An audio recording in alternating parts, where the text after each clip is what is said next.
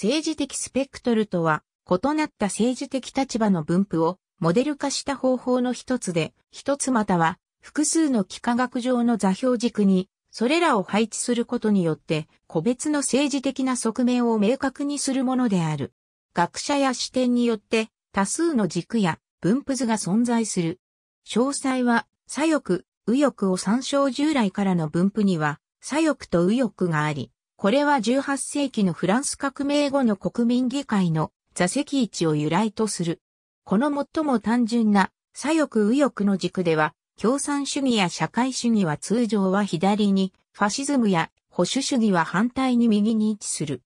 リベラリズムは異なった思想や内容を意味するため、時には左に、時には右に配置された。政治的スペクトルを二軸で表現した例。ノーランチャートの一種。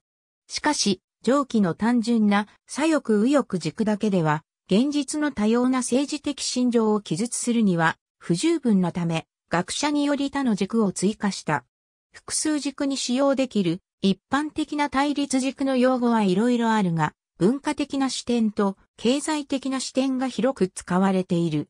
右の図の例では、縦軸が個人的な自由度で、横軸が経済的な自由度を表している。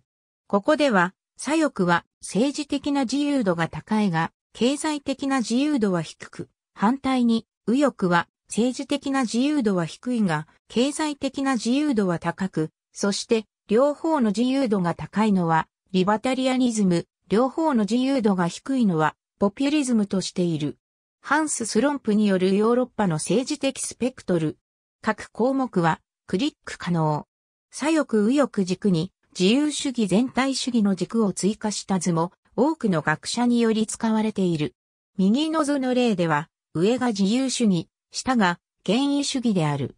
この視点では一般には極左と極右であり対極の思想とされる共産主義とファシズムは全体主義の傾向が強いという側面では共通している。同様に一般には極左とされるアナキズムは右翼的とも言われる新自由主義と自由主義の傾向が強いという側面では共通している。またアナキズムを社会的無政府主義と個人主義的無政府主義の分類に大別した場合は、それぞれ極左と右翼に分かれる。 Slomp、Hans、European Politics Into the Twenty-First Century、Integration and Division、Westport、Praeger、ISBN 0275968146。ありがとうございます。